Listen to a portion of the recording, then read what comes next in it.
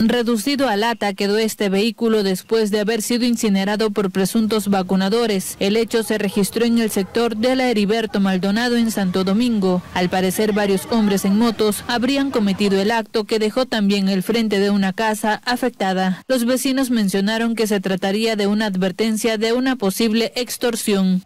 Dos ciudadanos en una motocicleta se habían acercado a dicha camioneta y le habían eh, rociado con gasolina para inmediatamente proceder a incinerarla, a prenderle fuego. Producto de esto, la camioneta genera una explosión que rompe los vidrios de la casa que se encontraba junto a la vereda. Entonces yo vine para acá ahorita, llego y ya lo llevan a la camioneta. ¿Sorprendido con ese suceso? Claro, sí, son parientes, de todas maneras dan pena, ¿no? De lo que le ha sucedido. Dicen comentarios que son cuatro en una moto, dicen, que han echado gasolina y, y han encendido. Asustados, los vecinos salieron de sus casas después de observar la gran llamarada que cubría la camioneta que estaba estacionada a un lado de la calle. Las ventanas de la casa más cercana al vehículo explotaron impidiendo el paso.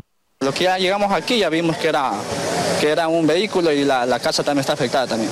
El cuerpo de bomberos se encargó de apagar el incendio y limpiar la calle. Se informó que no se reportaron personas heridas. La camioneta fue trasladada a los patios de la policía. Los propietarios del vehículo no brindaron su versión, según manifestaron las autoridades.